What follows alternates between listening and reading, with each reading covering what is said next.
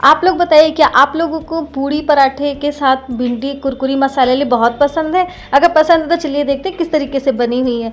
तो भिंडी को अच्छे से वॉश कर लिया, इसे पोछ लिया है। अब दोनों साइड से इसके ऊपर के हिस्से कट कर देने हैं।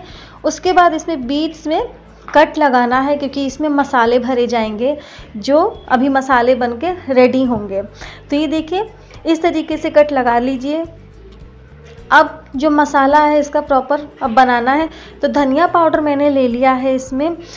डेढ़ चम्मच मैंने ले लिया है। उसके बाद थोड़ा सा हल्दी पाउडर लिया है और थोड़ा सा यहाँ पे मैंने सब्ज़ी मसाला और थोड़ा सा गरम मसाला और यहाँ पे कश्मीरी लाल मिर्च पाउडर लिया है और थोड़ा सा चाट मसाला मैंने लिया है और इसमें ऑयल इसमें ऐड करके अच्छे से मसाला इसका रेडी कर लिया है।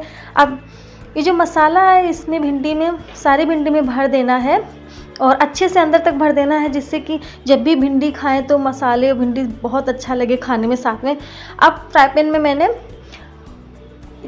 तेल लिया है, जीरा लिया है। इसको भूनने के बाद ये जो मसाले वाली भिंडी हैं, इसमें रख देनी है और जिसमें थोड़ा सा एक्स्ट्रा मसाला बचा है वो भी इसमें डाल देना है जिससे कि वो भी अच्छे से इसी में मिक्स हो जाएगा और वेस्ट भी नहीं होगा। और बस इसे पाँच मिनट तक अच्छे से ढक के पका लीजिए। अगर ये नहीं पकी, दो तीन मिनट तक के लिए और पका लीजिए। तो ये मसाला भिंडी बनकर रेडी है। अच्छी लगी तो लाइक शेयर कमेंट करें।